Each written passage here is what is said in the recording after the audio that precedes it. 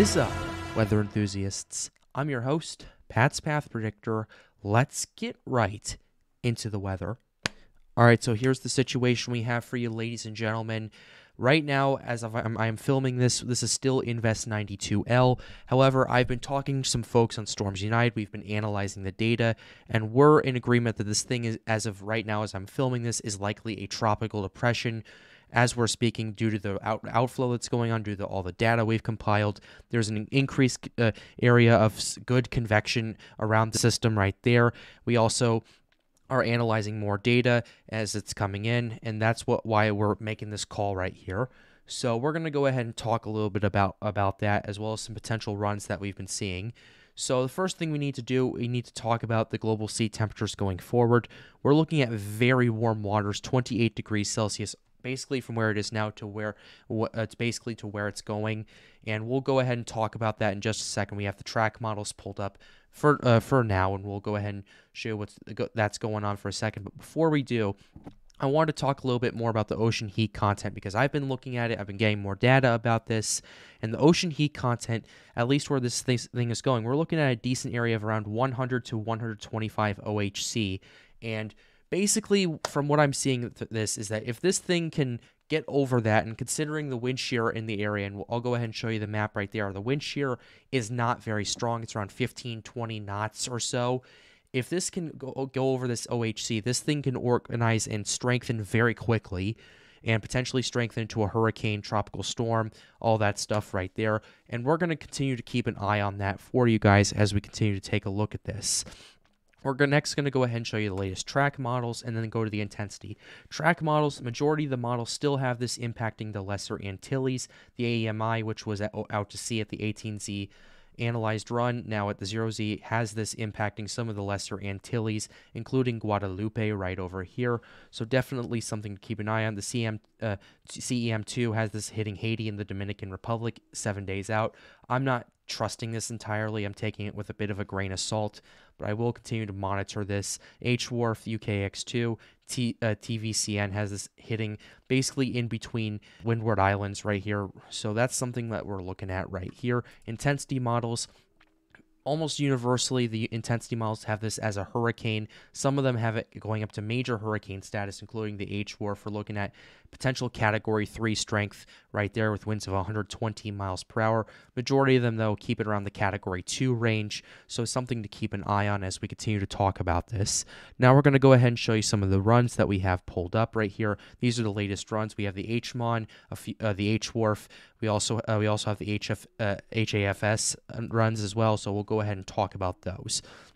The HMON has this thing starting to organize, develop, potentially strengthening into a hurricane by basically uh, by basically tomorrow evening, and then basically organizing, building a core from there, and then starting to strengthen again into a maybe a Category Two hurricane, high end Category One, and then thing, and then things start to weaken as it potentially enters higher areas of wind shear, and then starts to lose some of its structure, and then that's pretty much the latest from the HMON run we have right here.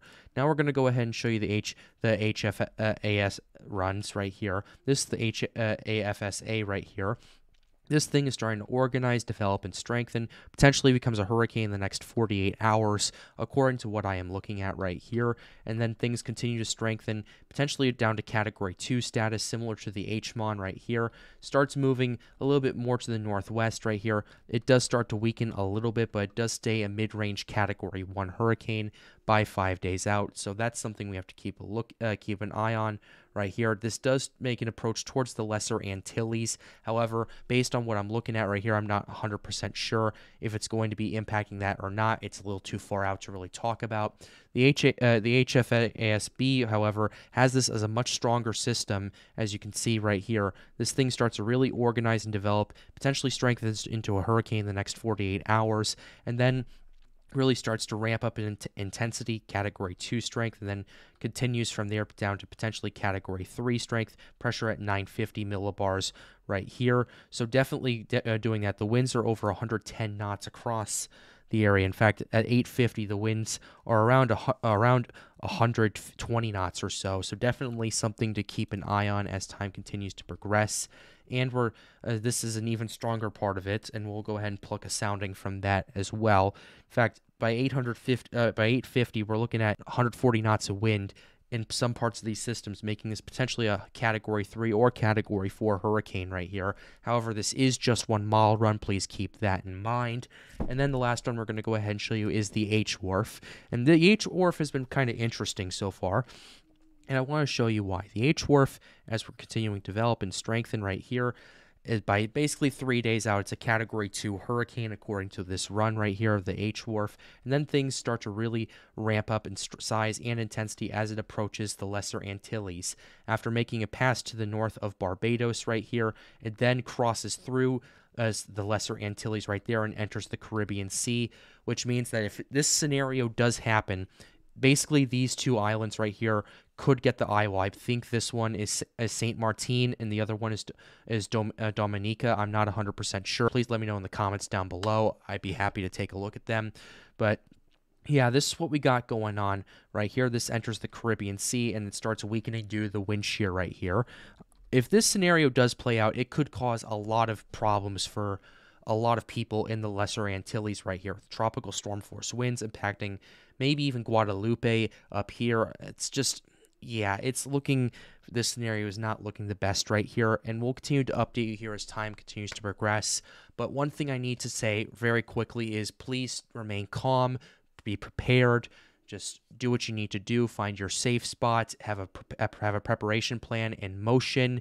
I don't want anyone panicking over this. I'll continue to update you with with information as i get to it but just please remain calm. Do not panic. Panicking will make things worse but we will continue to update you here on the Pat's Path Predictor channel. If you want to help us out, with this system right here, feel free to join our Discord server, Storms United. Links in the description down below. But with that being said, we're going to go ahead and wrap up this video. I hope you enjoyed it. Be sure to leave a like and subscribe to the channel if you are new. It helps us out and helps us make more videos like these. The goal of this channel is to get more people engaged with weather.